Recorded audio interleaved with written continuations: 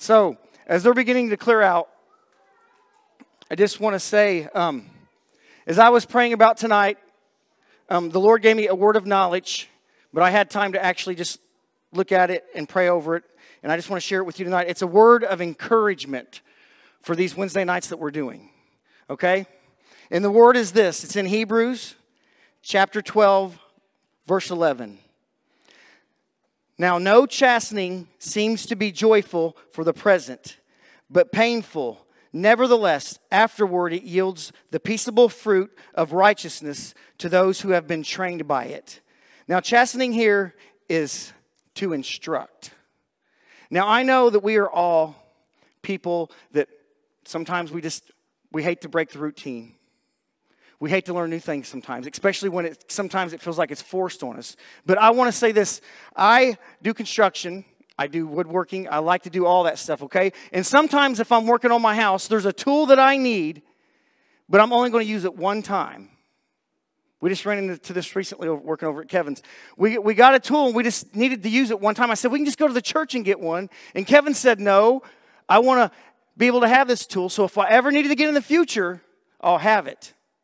Now, I want to let you guys know something tonight. All this stuff right now that we're learning about leadership might not be applicable to you in this time or season of your life, but I want to let you know that sometime down the road, you're going to need it.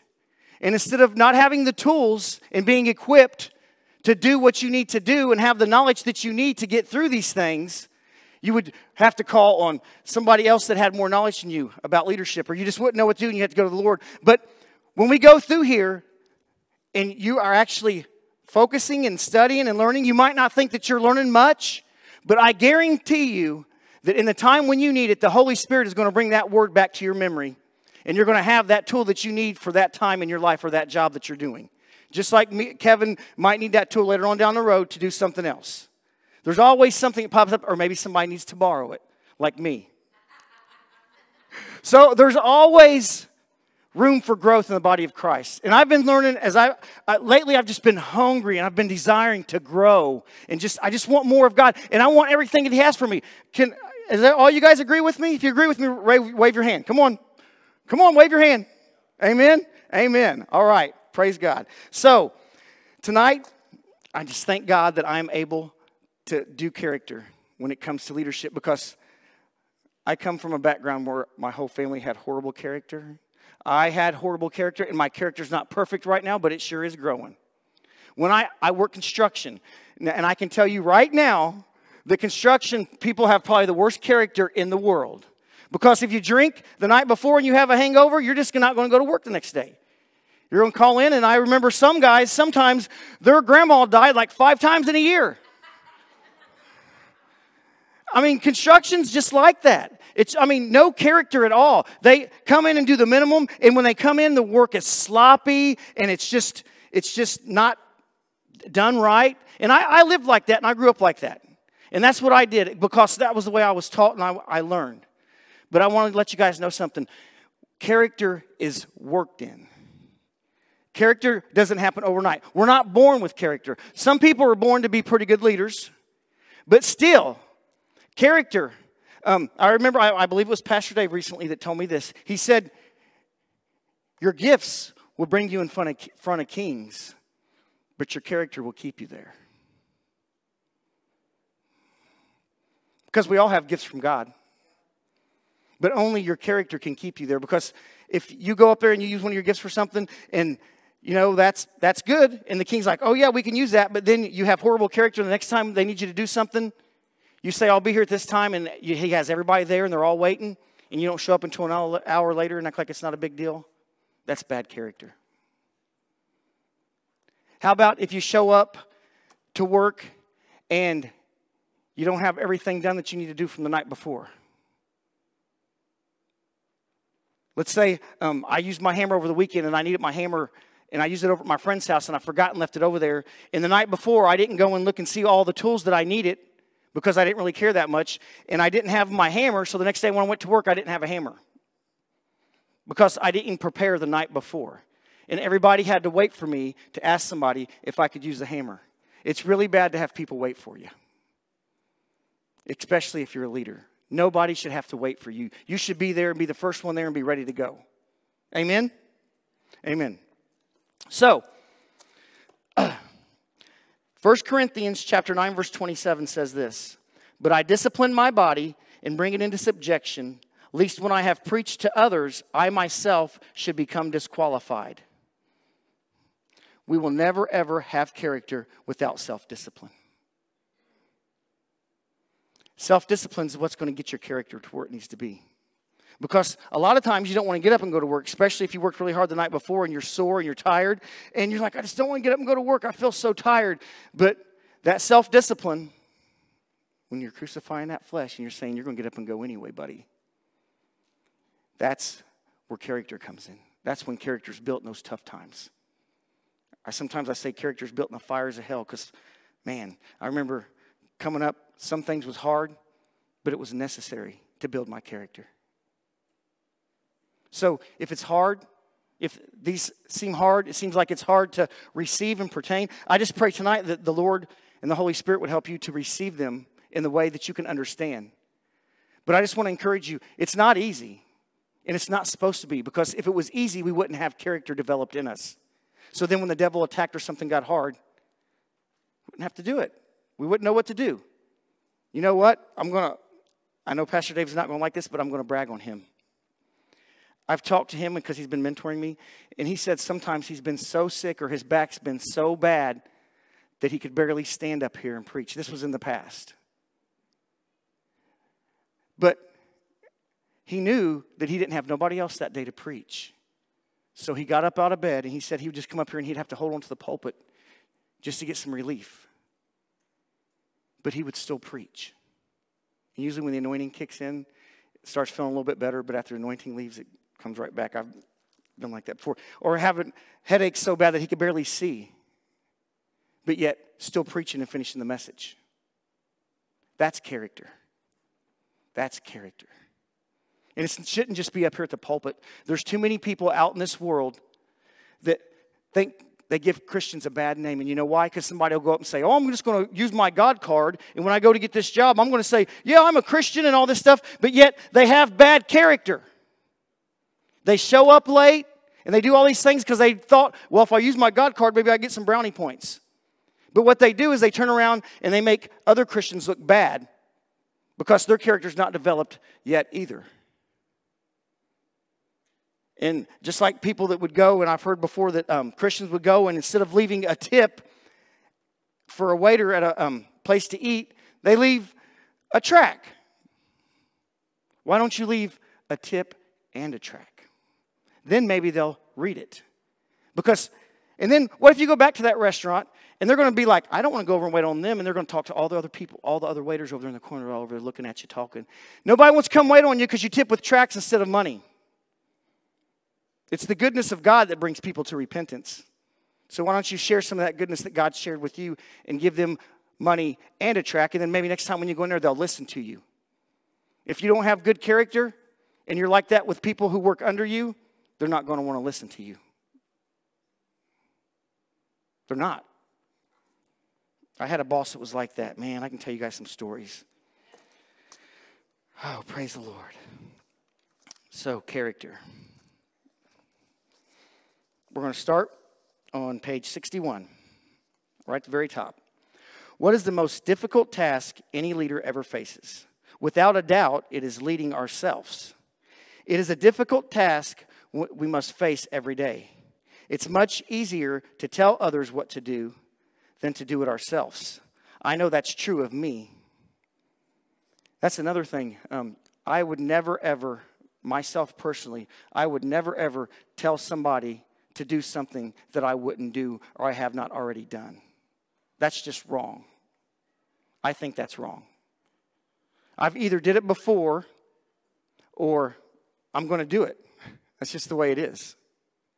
We should never ever expect somebody to do something that we wouldn't do ourselves. To keep myself on track, I must continually remind myself why character is so important. Now, just take a moment here and pause and think about why character could be so important. Because character in leadership, not just needing it in leadership, we need it just to live a good Christian life. Character is a foundation of being a good Christian. If you don't have character, people can't depend on you. And they can't depend on you as a person. Then, I'm not saying this in a bad way, but what good are you? Because nobody's ever going to want to listen to you. Nobody's ever going to want to come alongside you and help because you're not demonstrating and displaying characteristics of a good person yourself.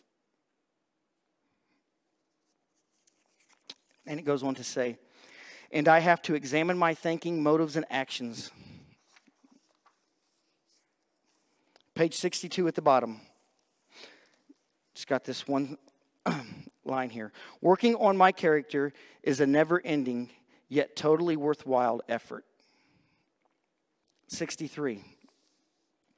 At the very top, I want to be a worthy leader, yet I know I sometimes fall short.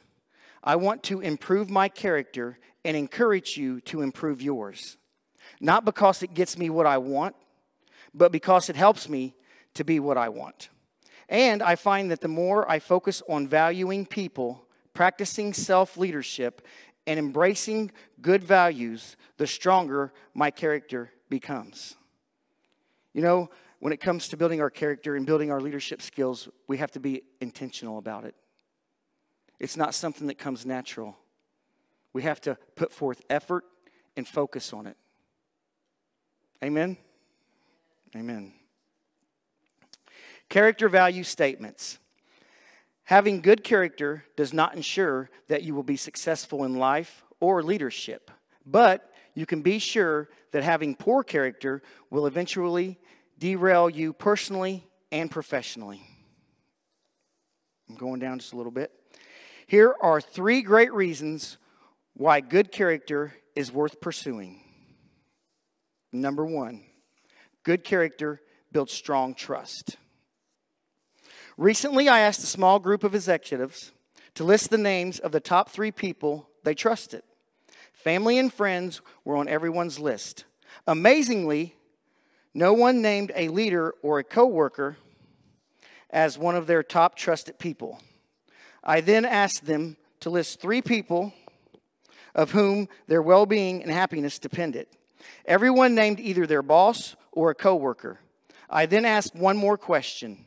If I were doing this exercise with your subordinates and I asked them to create their most trusted list, would they name you as one of their three most trusted people? There was a murmur, and that got their attention. What difference might it make if you were someone they put on their list? The consensus was that if people trusted their coworkers and leaders, the working environment would be more positive, people would be more productive, and turnover would be reduced. That's consistent with my own observation that people quit people, not companies. And the greatest cause of turnover in an organization is the lack of trust. Let me give you guys an example of trust, okay? My mother's, sorry, my wife's father used to go to church. He doesn't go to church anymore. He quit the church. This is why the pastor slept with a person in the congregation, and he was married. And that made him untrustworthy of the church. So, being a good leader, and we represent the church, the church of Jesus Christ, the church where everybody's supposed to model goodness and the virtues and kindness and selflessness. So, are we showing that? Are we displaying that in our everyday life? I'm trying not to get this into just about character and trying to put it with leadership because but character is so important.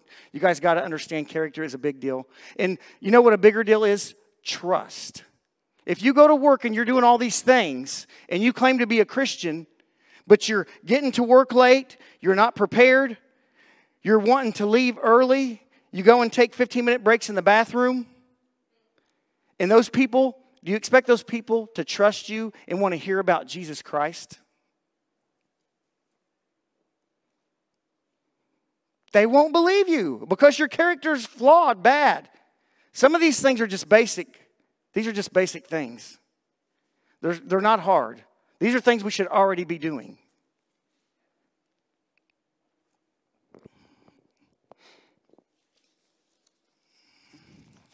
It's very quiet tonight. Praise the Lord.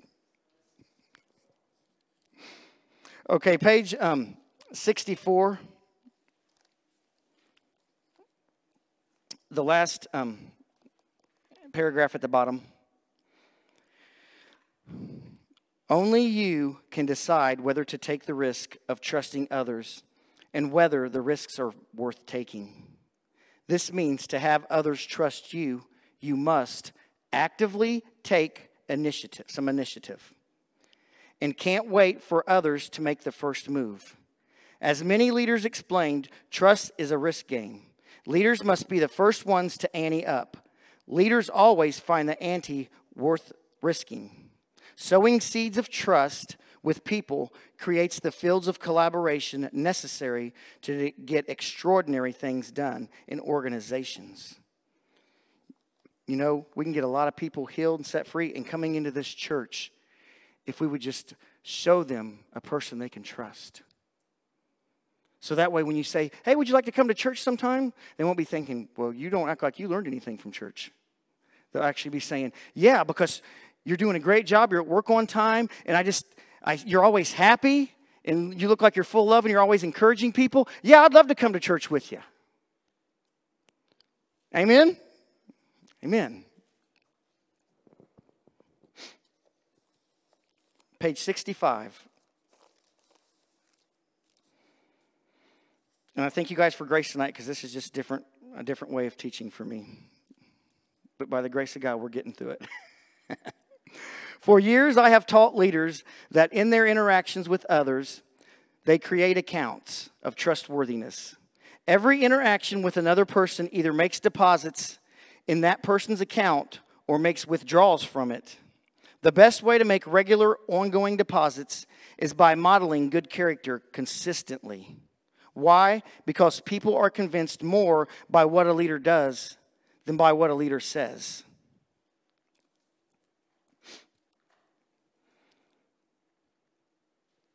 I'm going to go down to the next paragraph. Right underneath, in leadership, a pint of example equals a gallon of advice. In the beginning of a relationship, words hold more weight than actions because people do not know you. They may assume that your words represent who you are and that your walk matches your talk.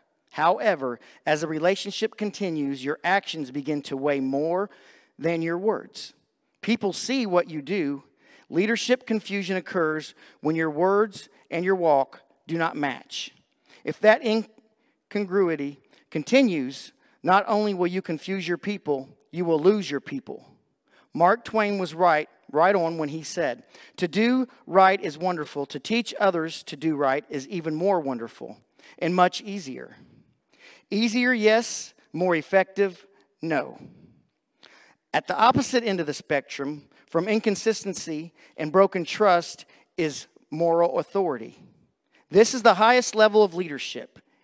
It is earned by demonstrating consistently good character and continually making deposits into trustworthiness accounts.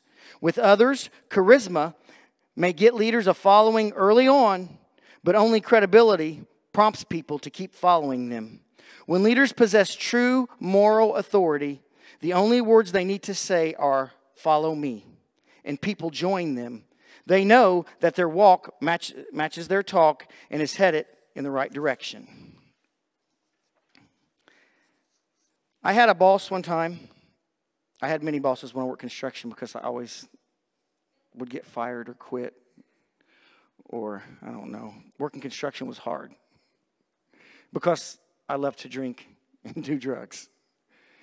And um, I had this one boss one time, and I didn't work for him very long because when it came payday, there was always a problem with the money.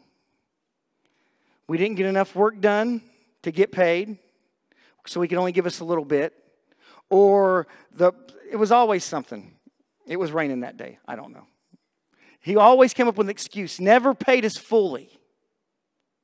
I only worked for that guy for about a month. Finally, after a, about a month, he was able to pay me fully, so I quit. I couldn't live like that. I couldn't trust him. He was my boss and he was a liar. I did the bare minimum when I worked for him. I didn't have good character at that time anyway, but I didn't want to work for him. I didn't want to give him anything because he wasn't giving me even my pay on time on Friday.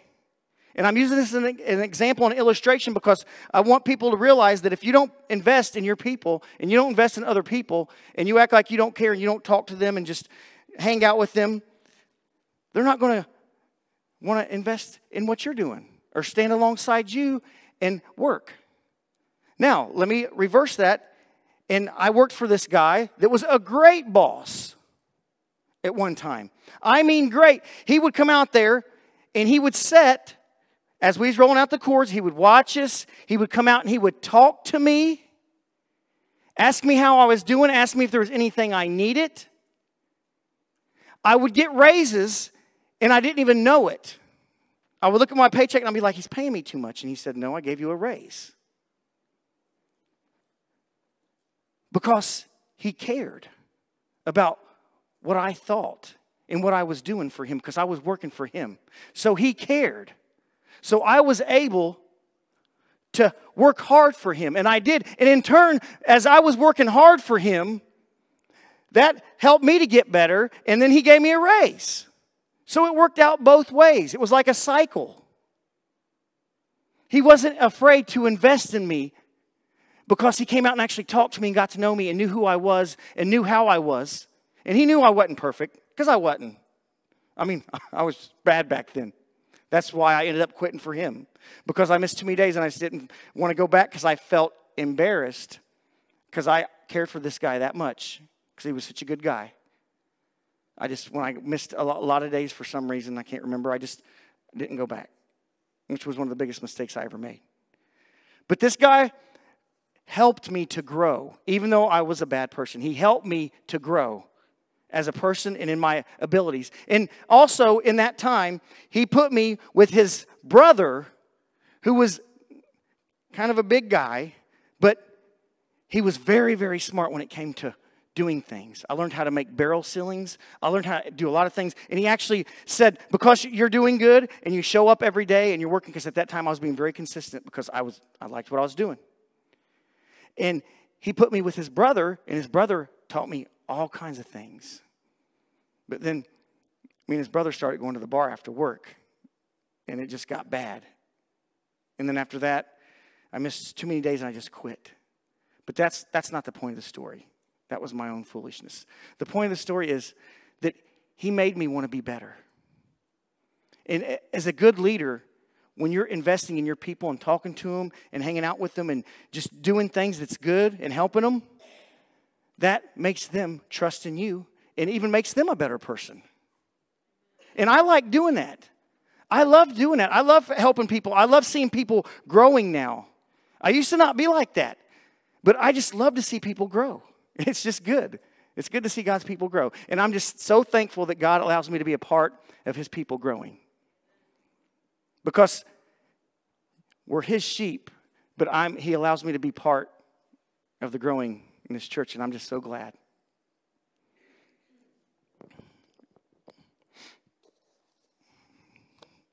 Um, page 65 at the top. Have we already went through this? Yes. Okay. Next page. 66, um, bottom paragraph. I thought trust was nice to have. Early in my leadership journey, I didn't recognize the importance of trust. I thought it was nice to have. Who doesn't want to be trusted and given the choice? But now I understand that in leadership, trust is essential. It's not something that you can take or leave. If you leave trust, you're going to leave leadership. Trust dramatically impacts real leadership issues, such as a follower engagement, connection, buy in, and effectiveness. Trust is the foundation of leadership. A strong foundation isn't a luxury, it's not just nice to have, it's crucial. Page 67. I thought trust was up to others. Some leaders, especially those who rely on their position or title to lead instead of their influence, take the posture that they should be implicit, implicitly trusted by their people, but that their people must prove themselves to be trustworthy. They put all of the burden for developing trust on others, not themselves.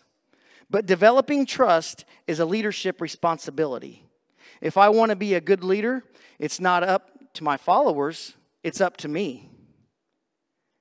I must take the first step in trusting the people I lead. And I must take steps to earn their trust. Good leaders take the risk in both directions. If my people learn to trust me, I'll get their attention. But if I initiate trust in my people, I'll get their action. And the essence of successful leadership is getting things done. The essence of leadership in this church is getting people healed and set free.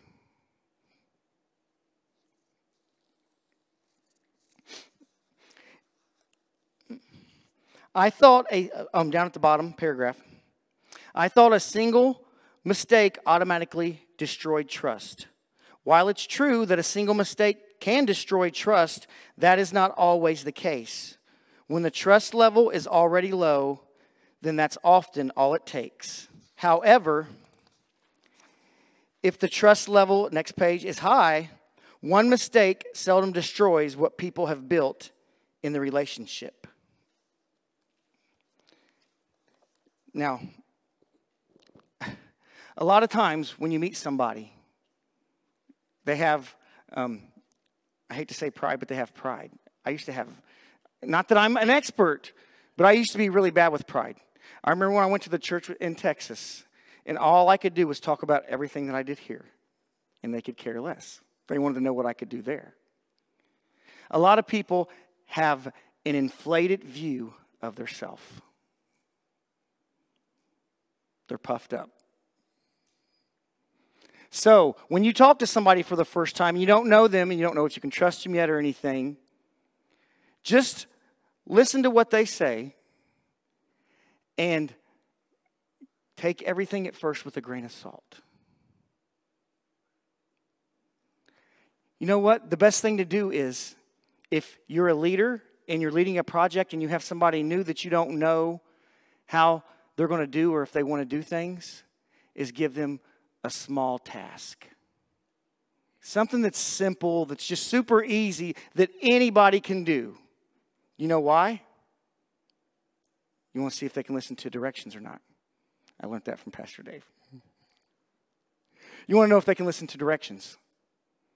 If they can't do that small, simple task, how will they do something big that you give them? They won't, more than likely, because Small things should be super easy to do, and they should do it and say, Well, this ain't nothing. I'm going to get this done. But, and then you put them in charge of a big thing and they don't do it or they don't follow through. That's bad. That's bad. That's being a bad leader. And it is hard to gain trust because I told Pastor Dave when I first started working on his house, I said, Oh, yeah, I'm an expert carpenter. We'll get it done in a couple weeks. That was my famous line when I'm doing something. Take a couple days, couple weeks became a joke for after a while. But I was not that good. I, I was good, but here's my problem. I would not, I was so used to doing things fast and rough and just slopping it and throwing it together. That's what I did on his house. And I remember that one day when he said, Did you use a plumb bob on that stairs? I said, What's a plumb bob? um, a plumb bob, it's just a thing that hangs from a string that makes everything straight all the way down. I was like, I didn't even know what one was. I just always use a level. So I just leveled each level, each level of the house, I would just level it and not actually straighten it straight down. Because a level, you know, a four foot level doesn't level very long. And he had to fix it. I'm sure my ears was probably burning at the time.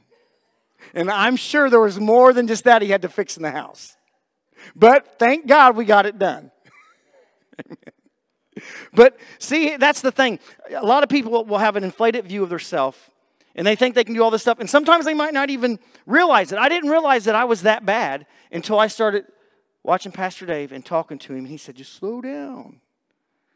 And I slowed down because there's a certain pace that everybody works at well. Some people work a little slower, some people can work a little faster. But if you get a person that needs to just think a little bit longer, because that's the way they work, and you just try to crack the whip and say, Come on, let's go, let's go, you're going to end up spending more time going back and fixing the things they messed up instead of just letting them take their time and do it right. I've learned that with myself. Some things, man, I can just get in there and I can just go, go, go. Other things, I slow down and take my time because I'm not as familiar with the process. And I don't want to miss a step in construction. You can, if you miss a step, you got to go back and tear stuff out sometimes. So it just, it's a process and it takes time. So it, being leaders, we have to just realize that certain people, we have to give them a little more grace or they have to just work a little slower as long as they're getting it done. As long as they're getting it done. As long as they're faithful in what they're doing they're, they're smoking a cigarette or something, as a Christian, you shouldn't be smoking a cigarette anyway. But if they're ever smoking a cigarette and just slacking and, oh, I'll get it done in a little bit, that's bad. But if they're over there diligently working all day and that's just the pace they work at, so be it. They're getting stuff done. Everybody works at a different pace. I'm sorry, I didn't mean to go there. Pastor Dave's eyes was burning a hole through my head. No, just kidding. I love you. I'm just joking. Okay. Page 68, middle paragraph, right? Everybody with me? Okay. So much of leadership relies on good character. Trust is created through it, talent is protected by it, internal peace is fostered by it. People cannot climb beyond the limitations of their character. Leaders cannot succeed beyond the depth of their character. Good leaders have the potential to be difference makers, and character makes a difference for them and protects them. Good leaders are often a gift to the world, and character protects that gift. Number two, successful leaders embrace the four dimensions of character. In this book, Derailed, Tim Irwin wrote that there are four dimensions to character authenticity, self management, humility, and courage. I agree with this perspective and want to use those four dimensions as my framework for describing the process of character building. So let's look at each one of them, starting with authenticity. Authenticity. I've observed that a lot of leaders have a difficult time with authenticity. Many don't want to let down their guard. They may feel that they are in a no win situation. They worry that if they reveal their failures, they'll lose credibility. Yet, if they try to hide their failures, they come across as phony. If they hide their success, they fear they won't have as much credibility. But if they highlight only their success, they come across as arrogant and unrelatable. How does a leader navigate this situation? That's a very, very good question. Here's the answer. Um, second paragraph right below, um, there are four dimensions to character. Most of the, on page 69, most of the time we live between those two lines. When people see us on the success line, we have to be careful not to think that it is who we really are. We can be like the athlete who wins a gold medal or a Super Bowl and starts to believe he's spectacular all the time at everything he does. It's not reality. People may try to put such individuals on a pedestal, but they will surely fall off. That's why the Bible says don't put a novice in a place of leadership because their character's not developed enough yet. They haven't went through hellfire. They'll, they'll think they know everything, especially with young people. So if a young people person's out there and they're listening to this right now and they're like, that's not me, that is you. Character has to be worked in. Character has to be worked in. if you don't have kids and you want to be a leader and you're going to have kids and a family when you get older, I'm telling you, ask anybody that has a family and is doing leadership or working in ministry. It's tough. When we had the kids and we did the bus ministry, and people that worked with us, like Dave and Chrissy and Tom and Marty. Sorry, I said that on the camera. But anyway, it was hard, wasn't it, guys? It's not easy. We was the first ones to church. We would have meetings and talk about bus routes for kids. We had to have buses and vehicles to get the kids to church. And then also take care of our own families. All of us have our families, and we, our kids was all in high school at that time, wrestling, track practice, all this. Pastor Dave really had it rough, man, because he had six kids, and they was in sports. It's rough, but by the grace of God, you can do it. Don't think that you have to stay and go to every one of your kids' meets. I'm not telling you what to do. Don't think you have to go to every one of their practices because if you want to be able to do ministry and do other things, with your kids, you can't do both at one time. A lot of times they would have meets or a, something on a Wednesday night. We had, we had to be here to do the children's ministry. I just couldn't go that night. But you know what? Every other time I got a chance to, I was faithful in going and making sure they knew that I loved them. And even though we was working with all these kids and doing all that stuff with all these other kids, I always took the time to tell them, you know, we love you. But you know that these kids don't get love and they don't have the same kind of family that you have. So just share mom and dad with these other kids because they need help too. I always made sure my kids knew that. I always made sure that they knew that they was loved and we wasn't leaving them out. We included them. That's very important when you're doing ministry with kids. I'm just going off the leadership thing right now and saying this to everybody in here. It's very important that your kids remember, even though, especially in children's ministry, if you're working with other kids, just make sure that your kids know that you love them and that you're there for them. That's very important. Very important. Okay. There are also times when we travel, it's going back to the middle of the um, 69. There are also times when we travel along the failure line. We all make mistakes. We all make bad choices, and we all fall short.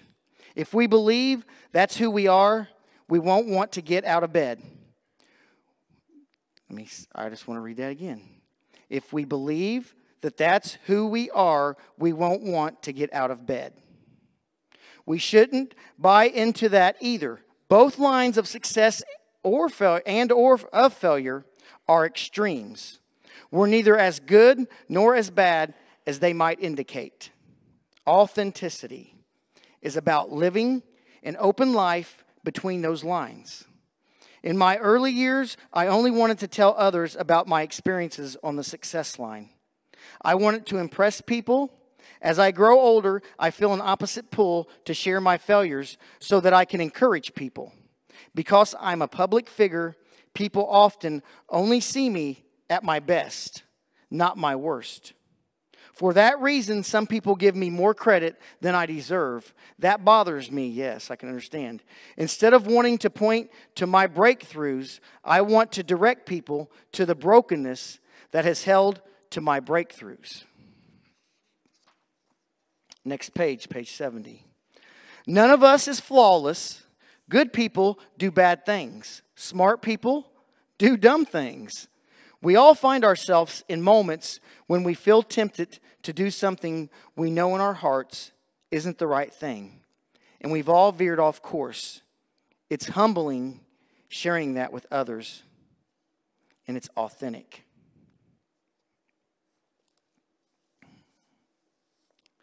Page 71, um, middle of the book. Character is not about intelligence, it's about making right choices.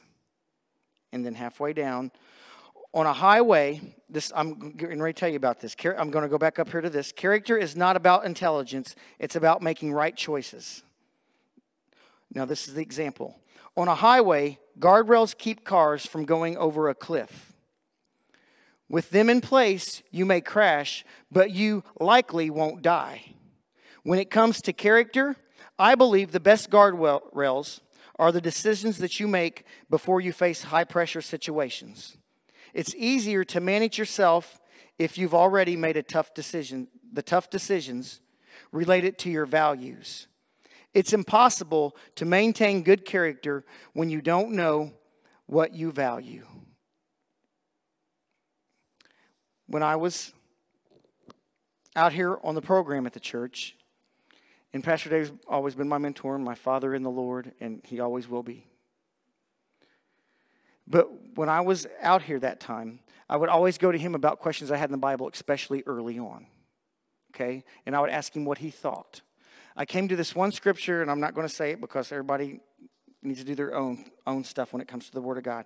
But I was um, stuck on this one scripture because I just couldn't quite understand, and I was just having troubles and struggling with it, and I didn't know which way I should be when it came to this scripture.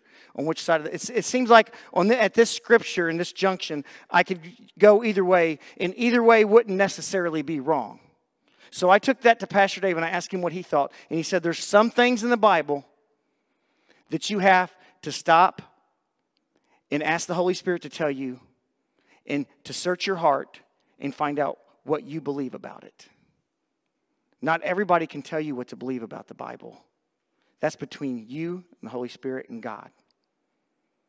There's certain things at our church, though, that you need to believe to be in leadership here. But there's certain things in the Bible that's just, it's not black and white. So you have to decide where you're at. That's with the Bible. That's when it comes to when you're in leadership and you're doing this in church, you have to know where you stand at these junctions. You can't just read over it and say, I'll get back to that later. You need to come to a decision of what you think and what you believe about what the Word says. Every part of the Word. You need to know where you stand. So when somebody comes to you or something happens, you're solid in what you say, you're sound. You know exactly what it says and what it means to you. Amen?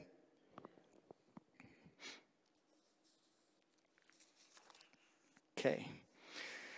I'm going to go ahead and read this um, at the bottom of page 70. Author and speaker Ruth Haley Barton says, We set young leaders up for a fall if we encourage them to envision what they can do before they consider the kind of person they should be. What she's speaking about is the strengthening of character that comes from good self management. And young people, when you go through those things, you'll just it'll just grow. It'll help you to grow. I'm telling you, do not pray yourself out of a situation if you know it's God's testing you. Because you can pray yourself out of a situation. You stay in that situation, you go through to the end. You let God develop that character in you. Everybody. We're all, we we're all growing. Don't pray yourself out of that. Just go ahead and go through it. It hurts sometimes, I'm telling you. I've been through some things and I just feel like my heart's being ripped out and I don't know why and I don't understand. But at the end, I look back and I'm like, oh, that's why. But at the time, I don't understand. There's been many times like that in my life. There's been times when I'm just angry and frustrated and I don't know why. And I'm like, God, why is this happening? Why are you doing this to me? And He's working on my character. After it's all said and done, if I stick in there and don't quit, when I, at, when I get to the end of it and I look back, I'm like, that wasn't that bad but it was when I was going through it. And then it's just, it's a continuing cycle. God wants us to be better. God wants us to have better character. This is going to happen all of our lives. I don't care if you're 85 or 15, it's just going to happen. Because God cares more about our character than the gifts. Your character's what people see, the gifts they see as well, but God gives those to us. So, like Pastor Dave always says, he made a donkey talk. Talk. Not just think and do something smart, actually talk. What if your dog could talk to you? You say, man, you are dumb. No. Because sometimes I, I do stuff and my dog's sitting there looking at me and I'm like, I know. I'm sorry. Praise the Lord. oh, okay. Um, page 72. Humility. Nobody likes working with leaders who are full of themselves and work only for their own benefit. People want to work with a leader who displays humility. Skip down to the very last um, sentence in, the, in that paragraph. I love that, yes, we are flawed, and yes, we make mistakes, and yes, we are human, but that's okay. That's okay. Very bottom of the page. Dale Carnegie said, If you tell me how to get your feeling of importance, I'll tell you what you are. How you get your feeling of importance, I'll tell you what you are. Where and how we seek validation impacts character. As a young man, I wanted to make a big splash. That's what was important to me. In the beginning, it was, excuse me, in the beginning, it was all about me, my goals, my success. Slowly, I realized that I was not on earth to see how important I could become, but to see how much of a difference I could make in the lives of others. Artist John Ruskin asserted, I believe that the first test of a truly great man is his humility. I don't mean by humility um, doubt of his power, but really great men have a curious feeling that the greatness is not of them, but through them. The greatness is not of them, a feeling, but it's through them. For most people, humility has to be earned. It is developed over time as you accept your weaknesses and give grace to others for theirs. In college, I read these words written by Thomas A. Kempis Be not angry that you cannot make others as you wish them to be, since you cannot make yourself as you wish to be. Ain't that true? So many times we say stuff about other people and we're doing the same thing. That made a strong impression on me because at the time I did, I did want to change others. I had to learn how to focus on changing and improving myself. That happens only when you acknowledge that your flaws are great enough that they need to be addressed. That requires and creates humility. And when you begin to develop humility, you are in a better position to serve the people that you lead. How did Jesus serve? How did Jesus lead? Jesus led with compassion and humility. And he was one of the greatest leaders in the world. And he led with compassion and humility. He washed the stubborn disciples' feet. That's humility and didn't say, oh, look what I'm doing. No. I just, oh, man, I can't wait to see Jesus. Oh, thank you, Lord. Next page 74, courage. All right, thank you, Lord. Courage makes character possible. It empowers us to do what's right in the face of fear, fatigue, or uncertainty. Character is not developed in ease and quiet. Only through experience and trial and suffering can the soul be strengthened. There are times in every leader's life when he feels obligated to take people where he himself has not yet gone. To talk farther than he has walked, I'm sorry, to talk farther than he has walked. I know that has been true of me. At such times, I do not feel competent enough, experienced enough, strong enough, faithful enough, wise enough, or qualified enough. At those times, I must acknowledge my weakness, ask for God, that's key, ask for God and others to help me, and summon the courage to take action.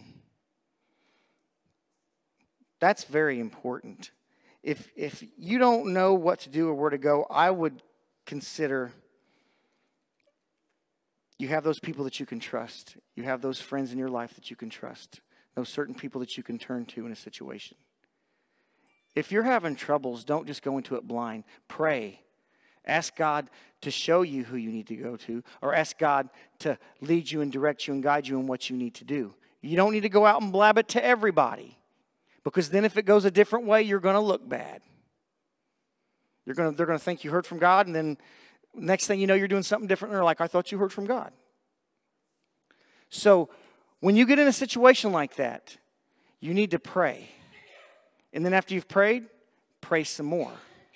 And then after you've prayed some more, pray a little bit more. Before you ever say anything, know the direction God wants you to go. And then you don't reveal it all at once because God might change it on the way. You just reveal a little bit of it at a time. A piece here and a piece there because that's how God leads us. It's not a big, long, quick run. I'm sorry, it's not a quick run, it's a long, drawn out run. God's only going to give you pieces as you go. Because if He gives you too much, when you get to the spot where you need it, you're going to have too much and you're not going to be able to use it all. But if He gives you a piece at a time as you go, you're going to be able to use that piece as you go. And also, we walk by faith, not by sight. What pleases God? Faith. So He's not going to give it to you all at once. If He did, you wouldn't have to live in faith. Amen? Amen. All right. Let's see here. Never be afraid to admit that you are wrong. Never, ever be afraid to admit that you are wrong. And pray that people will give you grace, and they should. It should work both ways. If you're showing that in the church and you're, you're functioning that in your church, then it'll work. Character makes you bigger on the inside, at the bottom of page 74. Character makes you bigger on the inside than on the outside. I'm not going to say that name. An ancient Greek philosopher said, What we achieve inwardly will change um, outer reality. That has always been true. Character is built on the inside before it shows up on the outside. Bottom of page 75. The inner voice. It wants to make you bigger on the inside. The outer voice wants to make you bigger on the outside. The voice you listen to wins the battle. When your inner voice says, I have done wrong, you have a chance to deal with the feelings of character, incongruence, or hypocrisy by making changes. That allows you to regain your character equilibrium. 76. The outer at the top, the outer voice encourages you to appear bigger on the outside, often at the expense of who you are on the inside. It creates a cognitive dissonance and unhealthy hypocrisy that outer voice might say something like, What I say and what I do are not the same and never will be. That's the way it is. Just keep up appearances. That's not a good road for anyone to go down. It's especially bad for leaders because they can become inauthentic, rationalizing, and unteachable. It's very bad to be a leader and be unteachable. That's, that's bad, especially when it comes to the Bible and comes to God. To develop character and become bigger on the inside than the outside, I must deal with my weaknesses. I must embrace failure and learn from it. I must choose the better path forward, and you must choose as well the better path forward. Going down to the bottom last paragraph. The result of de- developing strong character on the inside is self respect, which comes not from accomplishments or achievements, but from making the right choices. Brooks wrote, It is earned by being better than you used to be, by being dependable in times of testing. That's very important to be dependable in times of testing. Straight in times of temptation. That means you're still doing what the Bible says to do when you're tempted. And it emerges in one who is morally dependable. Self respect is produced by inner triumphs, not external ones. Page 77, very bottom of that paragraph. If you focus on the outside, you will neglect the inside. However, if you focus on the inside, the outside will always benefit. Page 78. Thank you, Lord.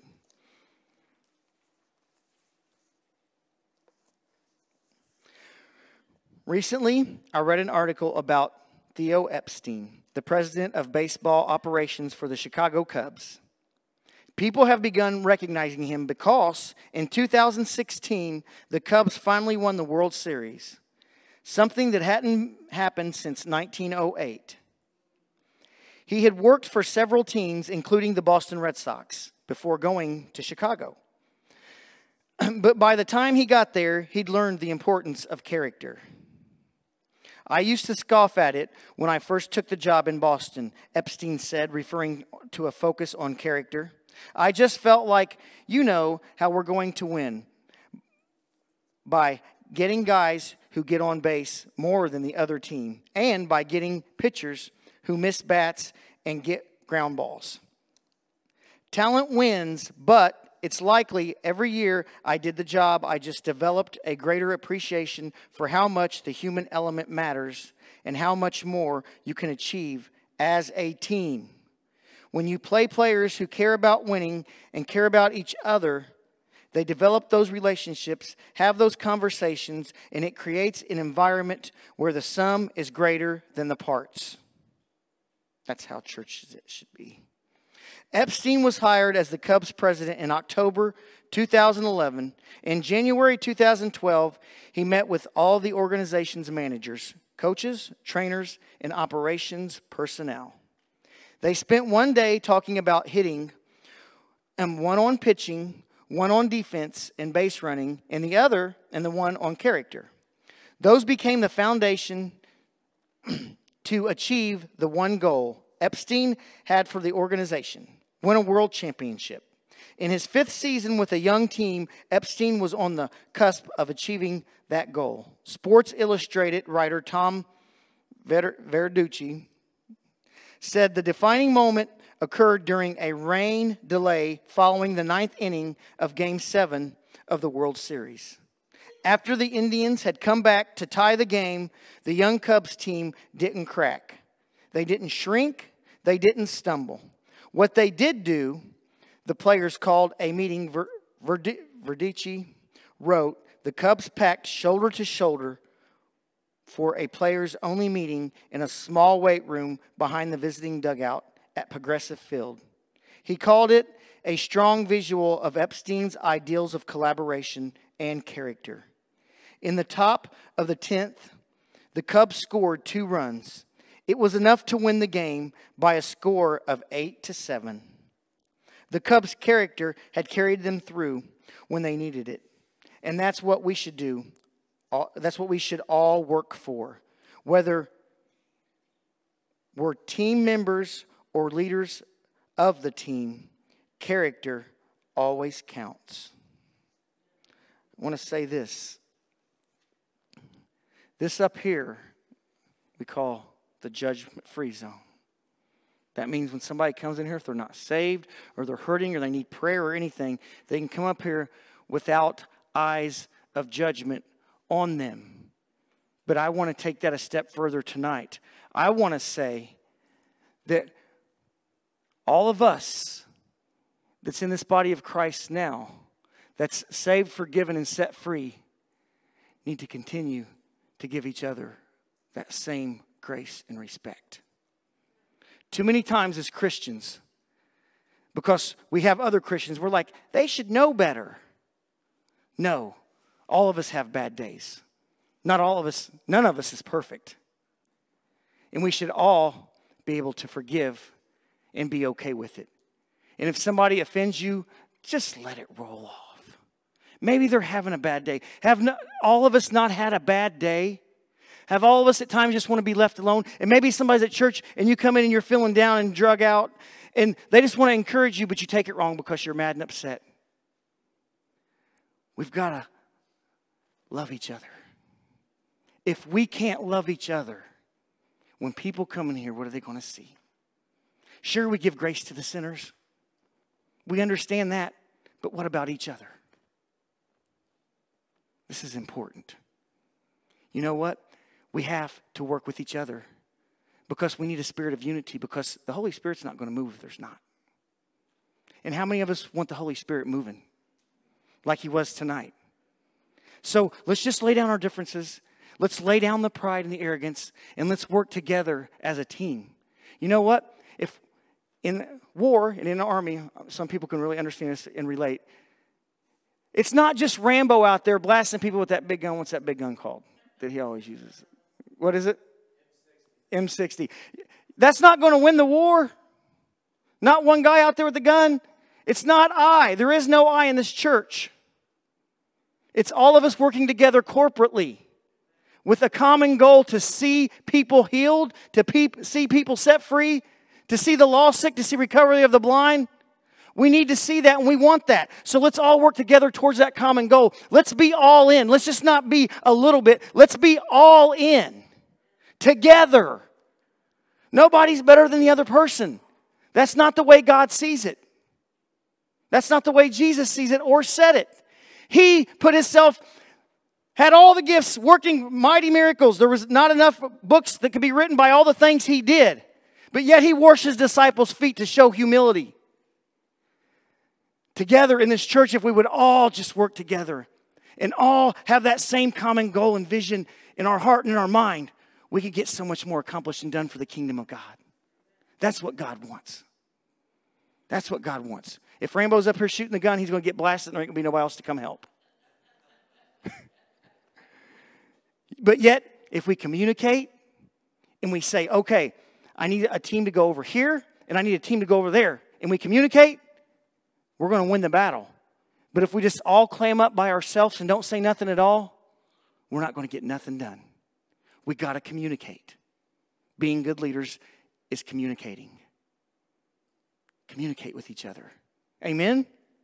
Amen. Go up to somebody. Oh, hey, can you go with me to pray for this person? Because I know that you was healed of that, and I know this person over here needs a healing. Will you come with me and go with me and pray for this person? If God puts it on your heart and you need somebody that needs prayed for, and you don't want to just go do it by yourself, grab somebody. There's nothing wrong with that. If you haven't did it that much and you feel like you need to go pray, go grab somebody to go pray with you. That's not a big deal. The big deal is seeing that person healed, not worrying about your pride. Amen. I just want to see our church grow. Father God, I just want to thank you for tonight. I just want to thank you for this series, Father God. I'm learning so much, and I know these people are too. I just pray, Father God, that as we continue this series, that you just continue to fill us with the knowledge of what a good leader is, and then you help us to implement these leadership skills into our life in the areas where we can use it and where we can see it at, Father God, where it can work at, and the level it can work at, Father God. I thank you for helping us to do this, and I thank you for helping us come up as a church. That we're coming up, Father God. And I thank you so much for it. Give you all the glory and all the praise. To your Son be all the glory. In Jesus' name we pray. And everybody said,